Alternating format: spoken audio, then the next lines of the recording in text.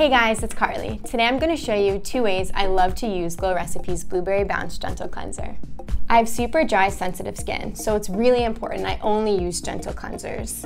This cleanser has AHAs which helps unglue dead skin cells, and it's really great because I don't have to use any harsh exfoliators on my skin. Every morning and night, I splash a little bit of water on my face and then use one pump of this really pretty purple bottle to wash my face.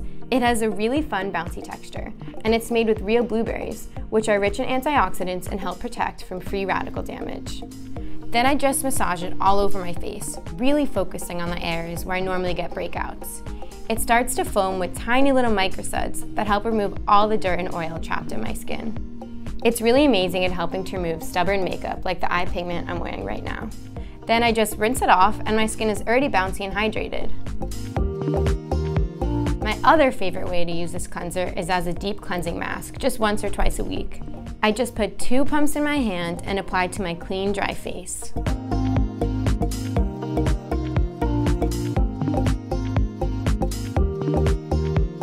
After just five minutes, I wash it off and my pores feel really nice and fresh and my skin is glowing. This cleanser is my favorite and I really hope you guys love it just as much as I do.